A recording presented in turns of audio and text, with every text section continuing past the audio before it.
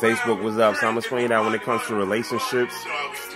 Um, there's a difference between being a toxic person in a relationship and using toxic tactics.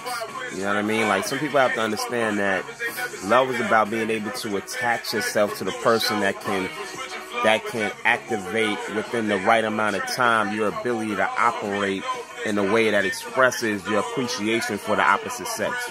You know what I mean? Or the opposite gender. You know what I mean? So it's not necessarily about how you do it, it's about what you do in particular. I mean, a lot of people just want love to remain a feeling, which it is, and love is a feeling, but really what maintains love is not the feeling, but the tactics involved to maintain the feeling in the person that you're attracted to. So it's a strategic situation. A relationship is about strategy. It's about strategic situations, strategic scenarios that you place the person you are interested in in order to keep their attention. You know what I mean? The emotion love doesn't keep their attention it just activates the ability to pay attention to what you have to offer as soon as you decide how you want to have them influenced by you on a regular basis.